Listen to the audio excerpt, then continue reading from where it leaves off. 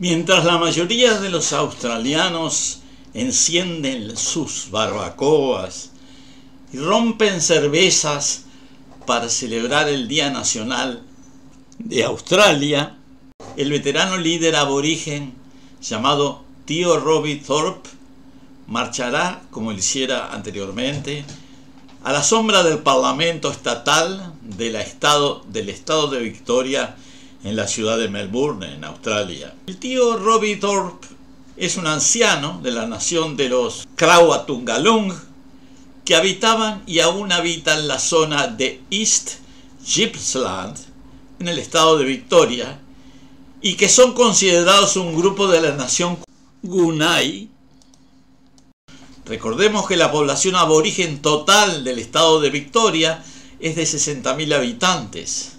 El total del estado son más de 6 millones.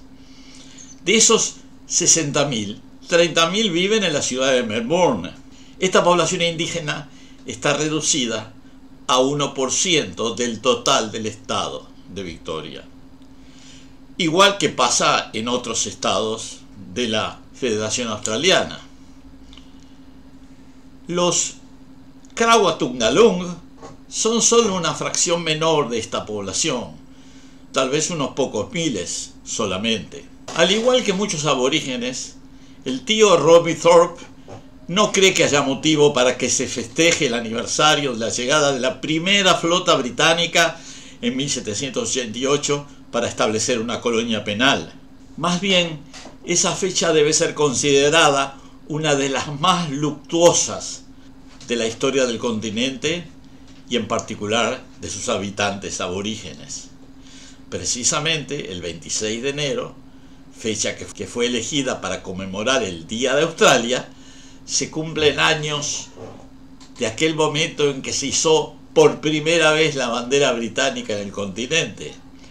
Ello ocurrió en Sydney Cove, una pequeña bahía en la costa sur del puerto de Sydney, y marcó para siempre el destino de miles de comunidades y cientos de naciones indígenas que poblaban el continente. Sin embargo, hay que aclarar que en ese momento la flota británica no había descubierto el continente australiano.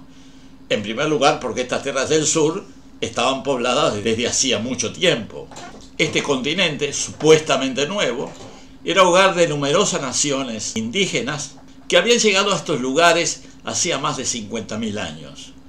Su población superaba tal vez un millón de habitantes, distribuidos en numerosas y variadas regiones geográficas que existían y en gran medida aún existen a lo largo del continente australiano. Tampoco la flota británica había sido la primera expedición europea por estas tierras australes. El continente ya había sido visitado por el navegante holandés William Jameson en febrero de 1606 y por otros exploradores de la misma nacionalidad en las décadas siguientes, que incluso propusieron que esas nuevas tierras, desconocidas en Europa, se les adjudicara el nombre de Nueva Holanda, que luego los británicos descartarían para utilizar el nombre Australia. Como decía anteriormente, en la Australia pre-británica habitaba más de un millón de personas con características culturales y antropológicas muy variadas. Hablaban unas 250 lenguas diferentes y habían desarrollado una gran variedad de culturas y estrategias de sobrevivencia que permiten afirmar que Australia es el lugar del mundo donde habitaron comunidades humanas en forma continua desde hacía más tiempo. En el año 1900, su población se había reducido a poco más de 100.000, la mayor parte de los cuales vivían en situación de pobreza o aislamiento. En ese momento eran fuertemente discriminados e incluso en la antropología oficial europea se planteaban dudas sobre su naturaleza humana y se les incluía en una supuesta fase evolutiva inferior. Se utilizó una nueva terminología para denominarlos. Desde el siglo XIX se los llamó aborígenes y esta denominación subsiste hasta nuestros días. En cuanto a los indicadores de pobreza, que no son solo culturales sino también estructurales, muestran que 30% de los hogares aborígenes en el estado de Victoria tienen ingresos por debajo de la línea de pobreza y también tienen los niveles más altos de desocupación, dos veces mayores que el resto de la población. También la proporción de jóvenes fuera del sistema educativo es tres veces más alta. Sufren más enfermedades y su atención médica es muy inferior al resto de la sociedad australiana. Resultado de ello, su expectativa de vida es 20 años menor, o sea, aproximadamente algo menos de 60 años. Algunas comunidades remotas viven en absoluta pobreza, sin infraestructura, sin servicios y sufriendo enfermedades que han sido erradicadas en el resto del país. Los australianos indígenas siguen siendo sometidos a políticas gubernamentales y actitudes comunitarias racistas. Se ha confirmado que las actitudes racistas de las comunidades australianas, no aborígenes, continúan tanto mediante encuestas entre australianos indígenas como por la autorrevelación de actitudes racistas por parte de australianos no indígenas.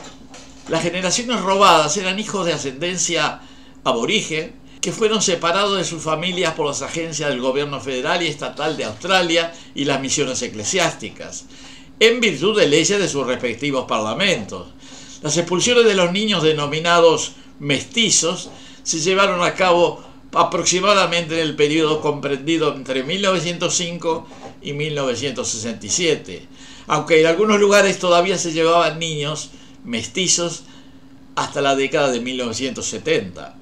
Las estimaciones oficiales del gobierno son que en ciertas regiones entre uno de cada 10 y uno de cada tres niños indígenas australianos fueron separados por la fuerza de sus familias y comunidades entre 1910 y 1970. Para el tío Robbie Thorpe, el 26 de enero no debe ser considerado el Día de Australia, sino el Día de la Invasión. Un recordatorio del despojo, la violencia y la pérdida que la colonización infligió a los primeros pueblos del continente.